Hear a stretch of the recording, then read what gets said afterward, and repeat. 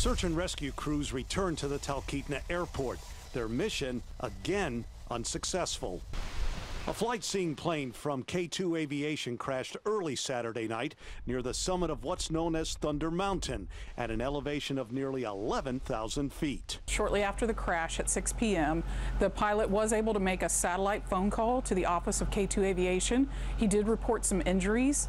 He, he made another call approximately an hour later at 7 p.m., and that was the last known communication that anybody's had with the pilot.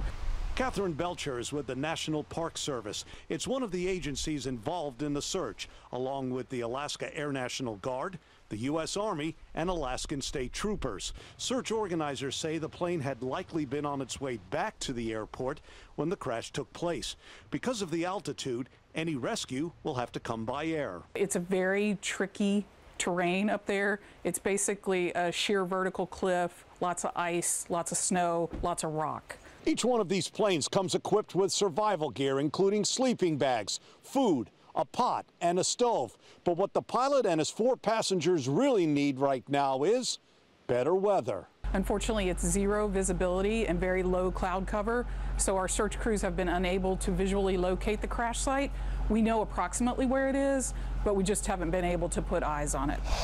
Search crews returned to Talkeetna not empty-handed, but they did not carry the most precious cargo they had hoped to find. In Talkeetna, Dave Laval, KTVA 11 News.